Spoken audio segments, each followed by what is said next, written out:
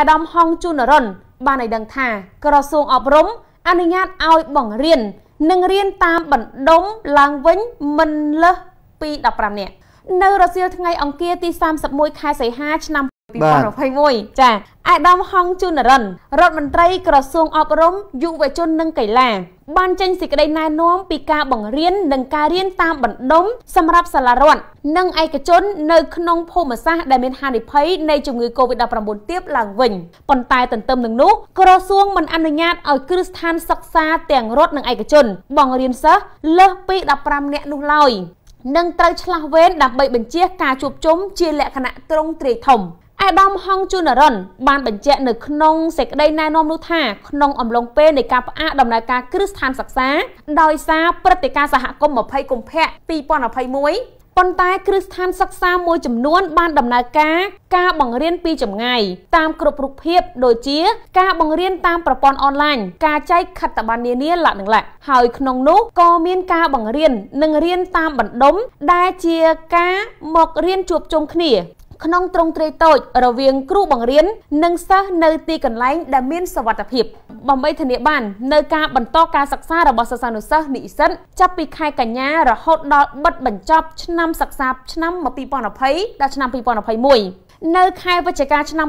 2021នេះនិងដើម្បីរៀបចំការប្រឡងសញ្ញាបត្រមធ្យមសិក្សាបឋមភូមិនៅខែវិច្ឆិកា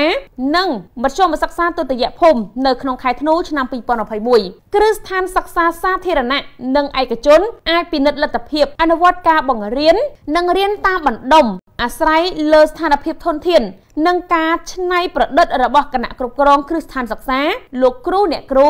នៅភូមិសាស្ត្រដែលធានាថាមិនមានការឆ្លងជំងឺ Covid-19 ជាពិសេសនៅតាមក្រុងស្រុកខណ្ឌដែលចាត់ទុកថា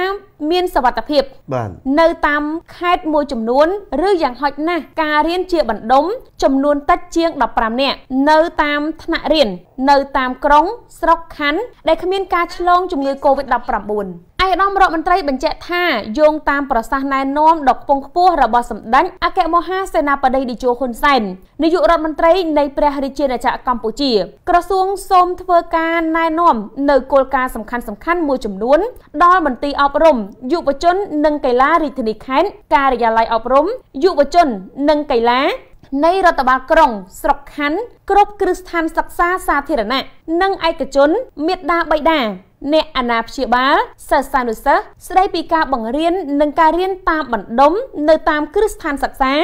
នៅភូមិសាស្ត្រដែលមានហានិភ័យទាបដូចនេះគ្រប់បណ្ដាគ្រឹះស្ថានអប់រំរដ្ឋនិងឯកជនទាំងអស់ត្រូវអនុវត្តវិធានការសុខាភិបាល និងវិធានការរដ្ឋបាលឲ្យបានខ្ជាប់ខ្ជួនជៀសវាងការជួបជុំលើសពី15នាក់និងត្រូវរក្សាគម្លាតសុវត្ថិភាព សង្គមដូចជាការរក្សាអនាម័យនៅក្នុងសាលារៀនជាប្រចាំផងដែរ